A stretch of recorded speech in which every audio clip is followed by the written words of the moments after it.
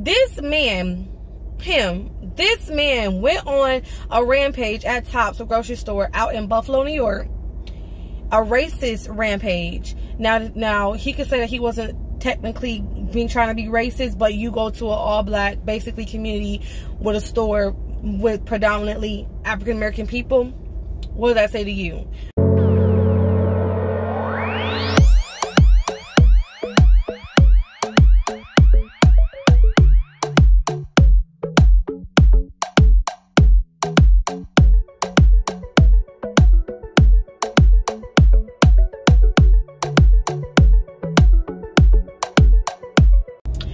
Hello guys, it is me, Klarissica here on Klarissica Says, where Klarissica Says all and that's how I feel.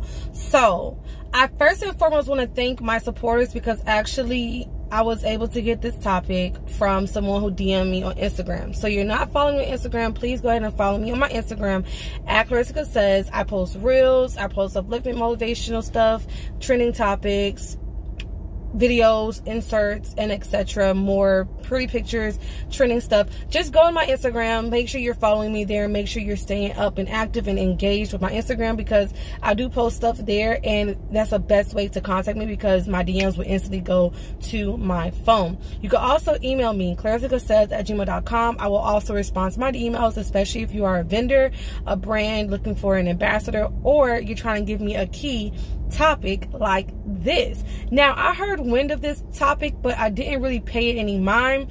And then somebody was like, girl, this happened like two days ago. Why didn't you uh, report on this? I'm like, you know what? I'm sorry. My apologies. I'm slacking. Let me get on this right now. Right now, right now. So here I am right now getting on this. Yeah. Yeah. So we're not going to sit here and keep talking about this intro. We're going to just get right into it. Okay. So let me read this article talking about Biden arriving in Buffalo following the mass shooting and what to expect. Okay. So, in wake of the mass shooting that took 10 lives and injured three others here in Buffalo, President Joe Biden is in this city Tuesday to speak on the matter, as he should. He is the president. Okay, the following people lost their lives as the result of, a, of the devastating racist attack at the top store located on Jefferson Ave. Okay, Aaron Salter, 55, Ruth Whitfield, 86, Pearl Young, 77, Celestine Chaney, 65, Roberta Drury, 32, Heyward Patterson, 67, Margus Morrison, 52, Andre Mackniel, 53, Geraldine Talley, 62, Katherine Massey, 72.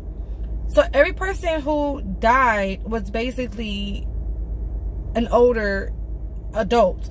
Even the Roberta Drury who's 32 she's still over the age of 20 below the uh, above the age of a child okay so he went to this store and really killed a bunch of like older men and women okay Zaire Goodman, 20, Jennifer Warrington, 50, and Christopher Braden, 55, were shot but survived. This man walked in to the store and just started spraying off. I want y'all to know what, what, what happened, okay? So I don't think he specifically targeted older people, but I'm just saying you just happen to go to this store around the time where there's more of an older population, okay? So they arrived at Buffalo Niagara International Airport in Cheektowaga around 9.30 a.m. and were greeted by Governor Kathy Hochul, Buffalo Mayor Byron Brown, and U.S. Senator Charles Schumer, along among others. Okay, from there they will travel to Buffalo to visit the Tops Memorial dedicated to those lost in Saturday's mass shooting. This will take place just before 10:30 a.m. At 11 a.m., the president and the first lady will meet with the families of the victims as well as the first responders and community leaders at the Delavan Grider Community Center. There, Biden will deliver remarks. He is scheduled to speak at 1 p.m. Following this, the president and the first lady will depart Buffalo at 2 p.m. All this is happening today. Okay. So let's see if we can get more information really quickly on the situation at hand. Okay. So let's talk about what happened. So Online posts reveal suspected gunman spent months planning racist attack at a Buffalo supermarket. Okay, so social media posts by the 18-year-old white man suspected of shooting and killing 10 people at the Buffalo supermarket Saturday revealed he had been planning his attacks for months. So when people are sitting there talking about, oh, you don't know if it's a racist attack, he just happened to choose this store. But people don't just people don't just i don't feel like people don't just don't, don't just walk into a store okay and say i'm gonna choose this store and do this to it. No they're strategic. They're, they're very strategic. I purposely do think that he went around that time with the older people older crowd. I purposely do think he chose that location in buffalo and i purposely do think he chose that store for all we know, that would have been said. he never you never know. He probably went to Tester one day, and it was something that happened with him, and he felt disrespected and had a, a, vengeance ever since then. People are crazy. People are really like not in the right mind frame. It could have been something small that triggered him, or it could have been, listen, I know at this point, this time, this location, in this store, because it's a popular store in this predominantly African American community it's going to hit highlights. It's going to hit highlights. It's going to be national, world known. I'm doing this one. And it could have been just that point blank period. Okay. But let's keep reading. Okay. So he's been planning this attack for months. Alleged gunman Payton S. Gendron or Gendron. I think it's Gendron or Gendron of Conklin, New York, posted that he said a particular posted that he selected a particular zip code in Buffalo because it had the highest percentage of black population close enough to where he lives. See? People ain't dumb, okay? People are not dumb, okay? Police and other officials have described the mass shooting as a hate crime, which it is because you specifically said, I'm going to do this and I'm going to choose this neighborhood for this specific reason. Like, for what? For why? Why? I'm confused, okay? In his post initially written on that chat app, Discord, and shared on an online forum 4chan. The suspect said he visited the Tops Friendly Market three times on March 8th to survey the layouts as well as at the times of the day when there were the most customers. He planned his attack for mid-March, the Post says, but delayed the date several times. The alleged gunman was taken to custody in the immediate after sorry, aftermath and is under suicide watch after pleading not guilty to a first degree murder charge, according to authorities. How you gonna plead not guilty when you got factual evidence that you killed all these 10 people? Like, what the hell? Okay, so so these are the latest developments. Suspect visited somewhere the day before attack. Gendro was at the Tops Friendly Market on Friday, day before the shooting. And he was also there early in March. Okay. Next pointer. Manager says she told Gendron to leave the day the leave the day before the attack. So an operations manager at the at the market told ABC News that she saw him at the store on Friday evening and, and told him to leave because it like he was bothering customers. Gendron sitting on a bench outside the store wearing the camouflage he would wear Saturday left without an argument. Chanel Harris Teague told ABC. Teague's brother, the Reverend Tim Newkirk, Newkirk told the Buffalo News that Gendron was posing as a beggar, okay? And Teague told him he could not panhandle there, okay? Attack would have continued elsewhere had suspect not been stopped. The suspect had other target locations down the street, according to the Erie County Sheriff John Garcia. Authorities found another rifle and a shotgun in his vehicle, said Garcia, who credited the quick arrival on of two police officers um, with preventing other attacks. Of course, they're going to credit to police officers for reaching the scene fast. You already know police officers been taking their time when it comes down to black people crime. But guess what? They said, oh, white man on the loose shooting in a, in a, in a police in a, in a black uh, predominantly neighborhood. Let me come real quick. Let me get this under wraps because we can't have this kind of media. All right. Writing seen on suspect's firearms. CNN has obtained a photo of two of the firearms inside the alleged gunman's vehicle that were not used in the shooting. Writing is seen on the weapons, including the phrase White Lives Matter, as well as what appears to be the name of a victim of a crime committed by a black suspect. Okay? So maybe he has a vengeance because he says white life matters as well as what appears to be the name of a victim of a crime committed by a black suspect okay? So let me go back to the first thing i said. Maybe he had a vengeance for something somebody you never know. People don't just do things. People do just sometimes people do just do things but people don't just do things. Sometimes they have a reason. For him to go all out of that he must have a reason. Either he felt like somebody came from the wrong way either he had a family member that was uh, abused or taken advantage of some way from a black or African American person, or he just had a hate crime, and that was his reason. His was a hate crime. He was he's he thinks white lives matters more than black lives matters, and he want to prove point that white lives matters. However, the way that he was exited out with no bruises, no cuts, no nothing, shows that there is a such thing as white privilege. You just shot up 10 people died. Three people, which means 13 people altogether, was injured in some way, shape, or form. And you literally walk out of there in handcuffs with no bruises, no broken feet, ankles, no broken arms, no nothing. You just walk up out of there like nothing happened. Like what if it was a black person, that person would have been beat up and battered by the time he got out that door. For sure. For sure. Okay. Video shows gunmen apologizing, sparing one person's life. Video obtained by CNN and filmed during the shooting shows the gunman turning his weapon on a man who is curled up on the ground near what looks like a checkout lane. The man shouts, no! And the shooter then says sorry and turns and walk away. The video ends at this point and it's unknown what happened next. It is not clear why the man was apparently spared or why the gunman apologized, okay? Family has not visited suspect in jail. Why would they, okay? Investigators have spoken to the suspect's family and described them as distraught, as they should be, and sickened, as they even should be more, by what happened. Sheriff Garcia said the alleged shooter has met with his legal team while in custody, he said, but pleaded not guilty first degree murder. What you talking about?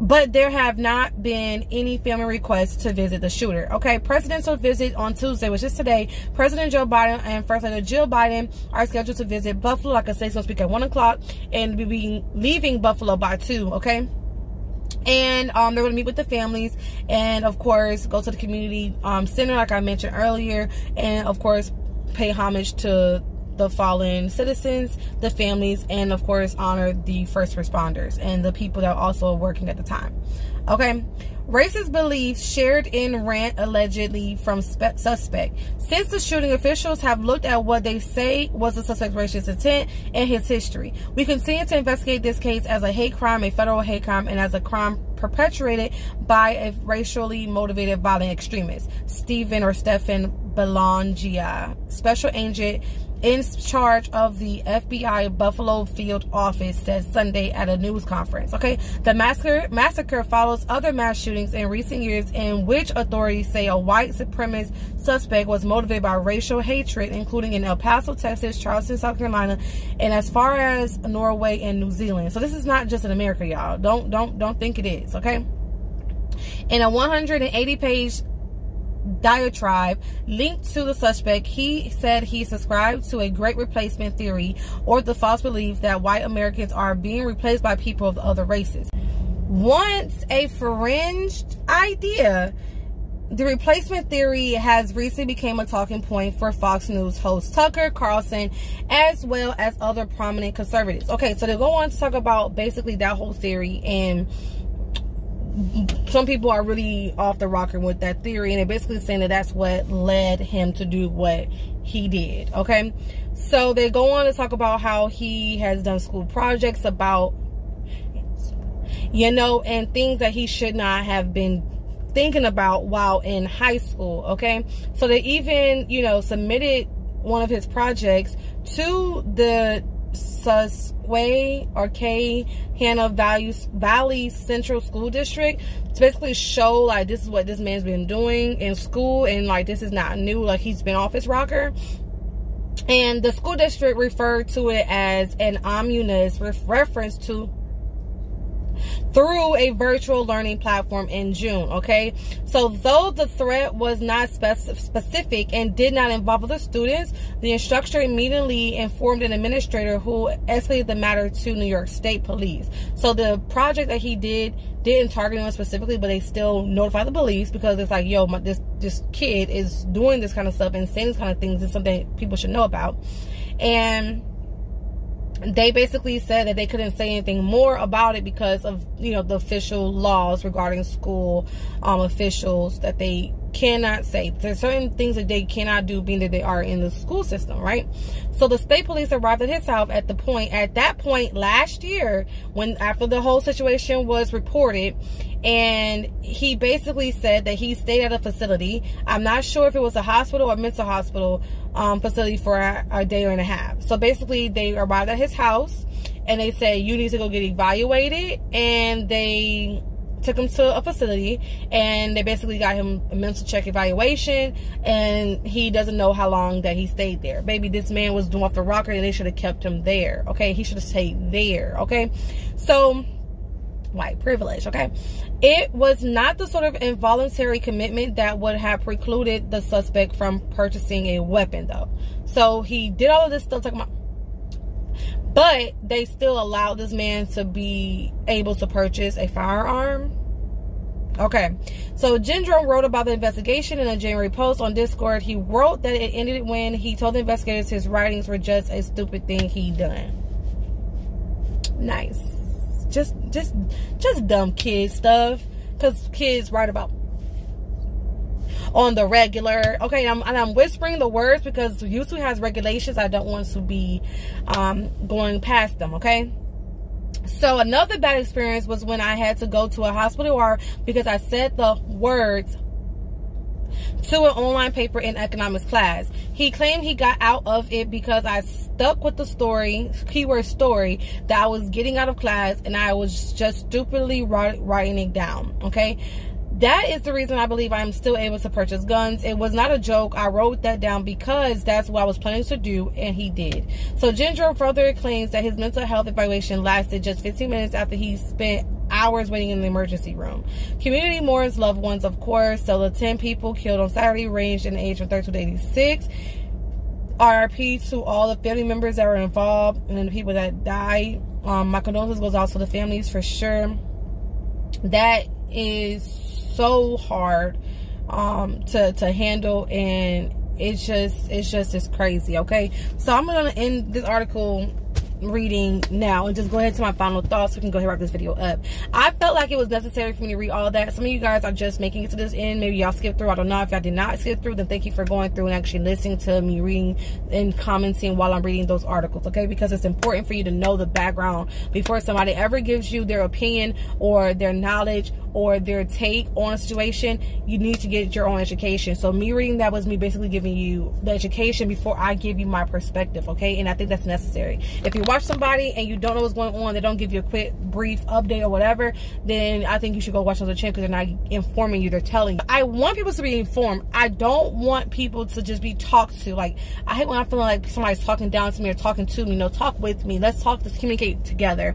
So let's learn together, let's build together. And it's, it's important for teachers, officials, people in general that are going to day-to-day life working in a job that they listen to these things. Because this boy was writing things down. This man was giving people hints and signs and we were just ignoring them. We were giving him a blind eye because he was a male person i believe a young kid and they didn't even follow through with the process of evaluating him properly. Like he said, he went to the emergency room, sat there for hours, got evaluation in 15 minutes, and basically was sent home probably the same day, the next day, basically within the time frame of less than 24 hours. And that's not the point, okay?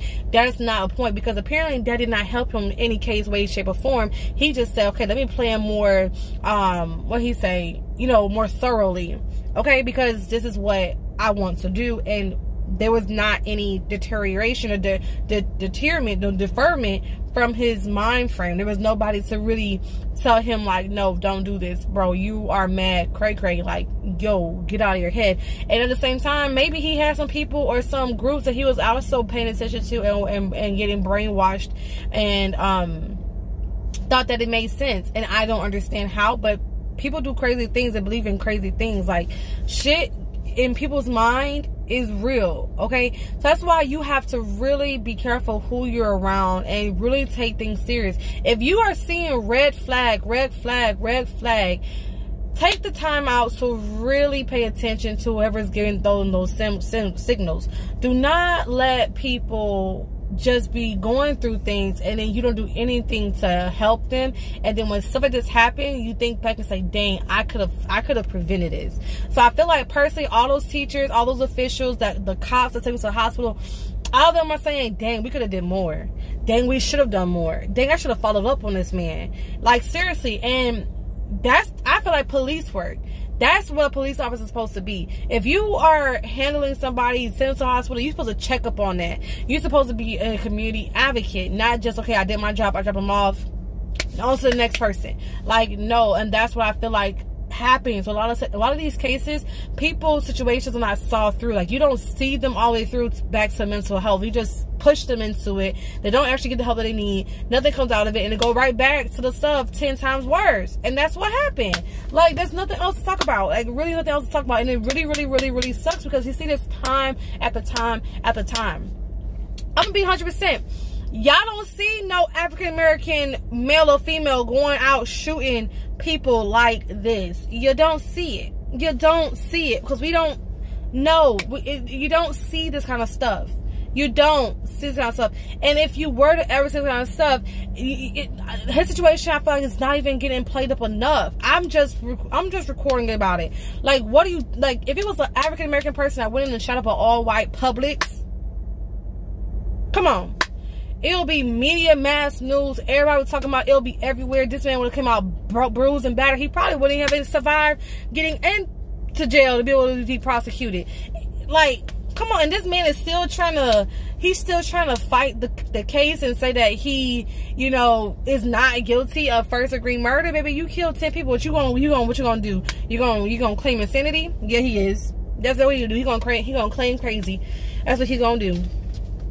That's what he gonna end up doing because, like, what? What? What? I guess he. I guess he's gonna say not guilty to try to get less time.